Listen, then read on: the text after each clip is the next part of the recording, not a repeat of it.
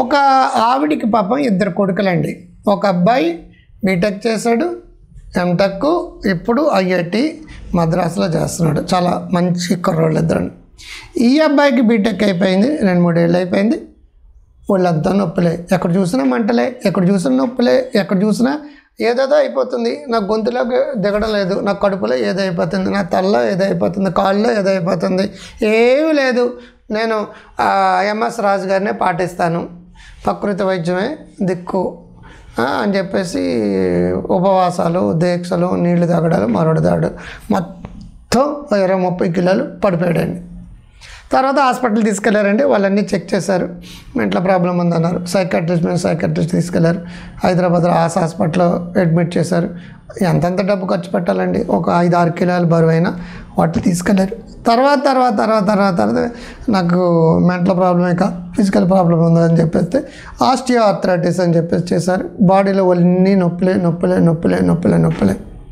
తమాషా ఏంటంటే ఒకసారి సొమాటైజేషన్ డిజార్డర్ నొప్పుల కారణంగా వస్తుంది.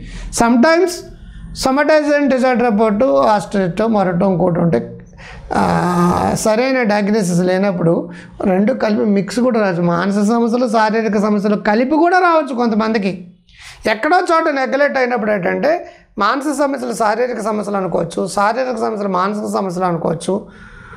లేదు కాబట్టి రెండు కాకపోతే ఉపవాసాల ద్వారానో ప్రకృతి వైద్యం ద్వారానో హోమియోపతి ద్వారానో హెర్బల్ ద్వారానో తగ్గుతుందని ఒక అపనమ్మకంతో మూఢంతో వెళ్ళిపోవచ్చు అది.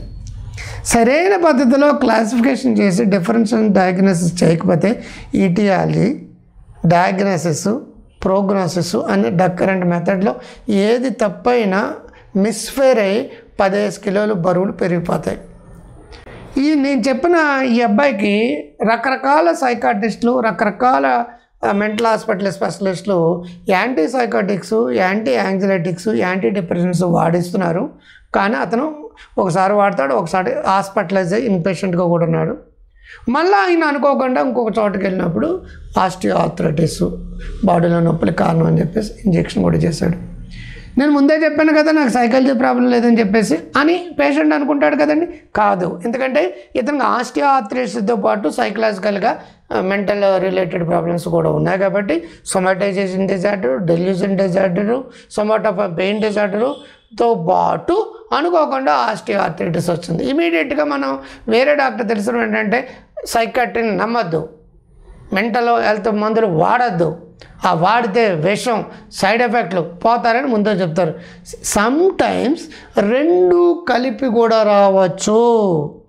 బ్రాడ్ మైండెడ్గా డాక్టర్లు ఉండాలి. బ్రాడ్ మైండెడ్గా మెంటల్ హెల్త్ ప్రొఫెషనల్స్ కానీ ఫిజికల్ హెల్త్ ప్రొఫెషనల్ కానీ నేచురోపతి డాక్టర్లు కానీ హోమియోపతి డాక్టర్లు కానీ ఆయుర్వేద డాక్టర్లు కానీ ఫిజిషియన్స్ కానీ సైకాట్రిస్టులు కానీ ఎవరైనా సరే బ్రాడ్ మైండెడ్గా ఉండి తీరాలి. వీడిని వాడిని తిట్టడం వాడిని వీడి తిట్టడం కాదండి. సందర్భాలు కొన్ని సందర్భాల్లో ఇది వాళ్ళకి రావచ్చు అది వీళ్ళకి రావచ్చు రెండు మిక్స్డ్ రావచ్చు కాబట్టి ఇటువంటి కేసులు ప్యారల్గా సైకాట్రీ వెళ్తుండాలి ప్యారల్గా ఫిజియోథెరపీలు లేదంటే ఆర్థో ఆర్థరైటిస్ రిలేటెడ్ వెళ్తుండాలి ప్యారల్గా కౌన్సిలింగ్లో వెళ్ళాలి ప్యారల్గా పేరెంటల్ గైడెన్స్ కుటుంబం సంబంధించిన గైడెన్స్ కూడా వెళ్తే త్రీ సిక్స్టీ డిగ్రీస్ యాంగిల్లో ఆ వ్యక్తి సఫరింగ్ నుంచి బయటపెడతాడు. అంతే తప్పించి నేరో మైండెడ్గా వెళ్ళడం వల్ల ఏంటంటే ఈ ప్రాబ్లమ్ సాల్వ్ అవ్వండి కుటుంబాలు బాధల మీద బాధలు పడుతుంటారు ఆర్థిక సమస్యలు ఎక్కువైపోతాయి డబ్బు వృధాగా ఖర్చు పెట్టేస్తారు. తెలియకుండానే consumption of money consumption of time consumption of ఇవన్నీ అవడం వల్ల కెరీర్ వెనపడిపోతాడు అరవై డెబ్బై కిలోలు ఉండే కుర్రోడు ముప్పై ఎనిమిది నలభై కిలోలు పడిపోయాడు. కాబట్టి జాగ్రత్తగా ఆలోచించి అన్ని విధాలుగా ఆలోచించి త్రీ సిక్స్టీ డిగ్రీస్ యాంగిల్లో మనం దాన్ని ఒక కేసు గురించి ఆలోచించాల్సి అవసరం కౌన్సిలింగ్ అంటేనే అది. సో మీరందరూ ఆరోగ్యంగా ఆనందంగా సంతోషంగా ఉంటారని కోరుకుంటూ ముందులే మంచి కాలం. ముందు ముందుగా మీ డాక్టర్ కాంత్ గారు నమస్తే.